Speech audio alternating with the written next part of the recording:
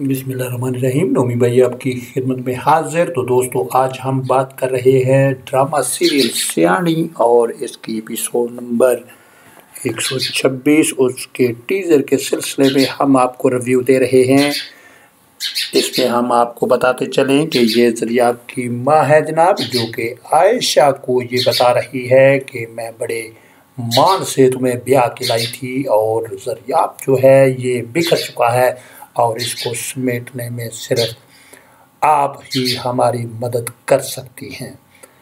और हमारा ये वतीरा चला रहा है, जो भी सियाने लोग होते हैं तो वो घोड़ी भी ख़रीदते हैं तो उसकी नस्ल देख के ख़रीदते हैं। और यही वजह है कि आयशा जो है, उसके बावजूद कंप्रोमाइज़ करने के लिए बिल्कुल तैयार हो गई और उसने जनाब जरियाब को हर तरह से, हालाँकि वो उसको बहुत झिड़कें भी देता है, झिड़कता है, उसके बाद बुरा भला भी कहता है, उसके बावजूद भी वो उसको छोड़ने के लिए तैयार नहीं है कि वो उसे घास डालता है, नहीं डालता है इससे कोई फ़र्क नहीं पड़ता। लेकिन बात यह है कि जो आपके फ़राइज़ हैं, वो आपने अंजाम देते रहना है और फिर देखना कि अल्लाह किसी का सब्र जो है, उसका फल ज़रूर देता है। और वो अपने फ़राइज़ बखूबी अंजाम देते हुए और एक दिन ऐसा आएगा कि जरजाब जो है उसकी कदर करना शुरू कर देगा। दूसरी तरफ़ ये है जनाब,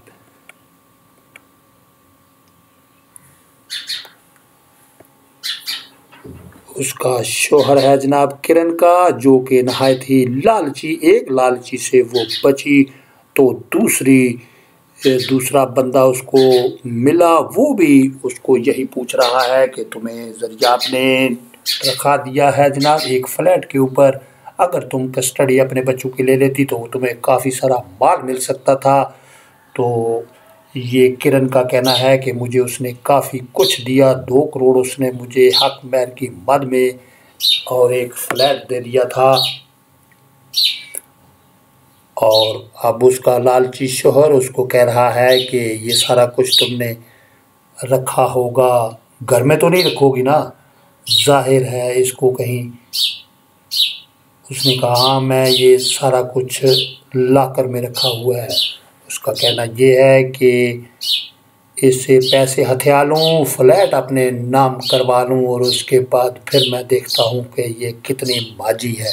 तो ऐसी औरतों के साथ ऐसा ही कुछ हुआ करता है, क्योंकि जो तलाक याफ्ता औरतें होती हैं और जो किसी का भला सोच नहीं सकती, दूसरे का घर बर्बाद करके अपना महल तमीर करना चाहती हैं तो उनका यही हाल होता है।